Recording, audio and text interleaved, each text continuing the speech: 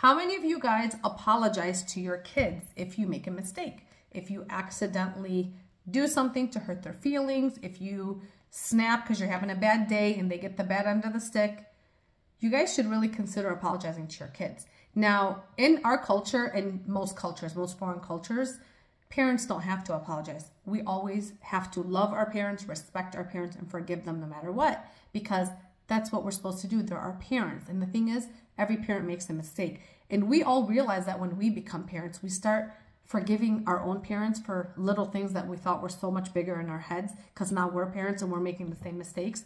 But our kids don't know that.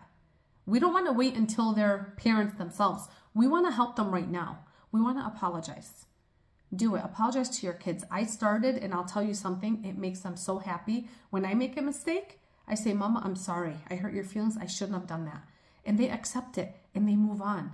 And this also teaches them listen, if someone comes along later and hurts your feelings all the time, they better apologize and they better stop doing what they're doing. You are nobody's punching bag. So when you as a parent apologize to your kids when you do something wrong, you're also teaching them to demand an apology from their future partner, from their future coworker, from their future boss, from their friends.